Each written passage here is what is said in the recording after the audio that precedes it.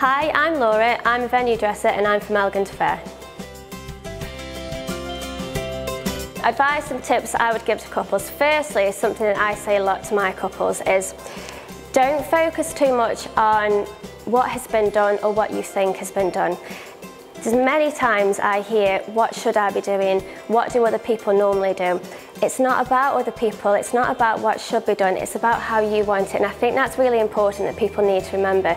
This is your day, it's your unique day, it's unique to you. Everybody is different. So focus on what you want, not what should be done. Pinterest is brilliant. It gives you a lot of ideas on what's out there. It can also blur reality a little bit. So what people need to remember is even though it's great to go on social media and look at these sort of websites to get ideas, try not to focus on it too much because a lot of this stuff is filtered, it's edited, it's not really the reality of how things are going to look. It's certainly brilliant for getting some advice and some ideas, just don't focus on it too much. Questions that couples should be answering venue dresses I think are things like have you worked at the venue before? It's not a massive problem if a venue dresser hasn't worked at a venue before because there's that many photos out there nowadays that a venue dresser can get a good idea of how it all looks.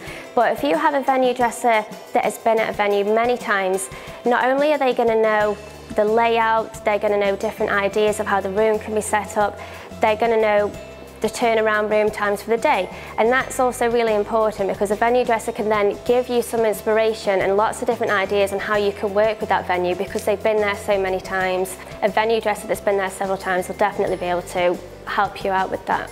We actually like to make a lot of our items ourselves, which gives people the difference than just something normal from a shop that's bought. So for example, the centerpieces that we've done today, you can simply make them different by changing the colours.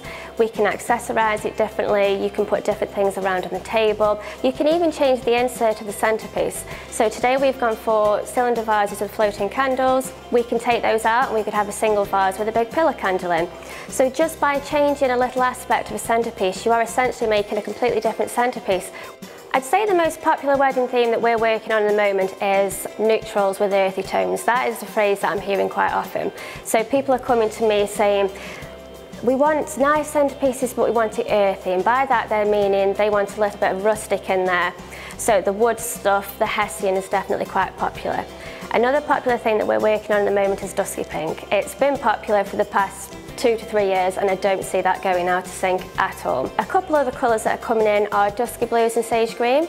Those are things that I'm hearing a lot of, so it may not necessarily be something that we're working on at this moment for this year, but it's definitely something that we're getting inquiries for for next year and even 2022. Just enjoy the whole process. Dressing the venue isn't something that should be stressful.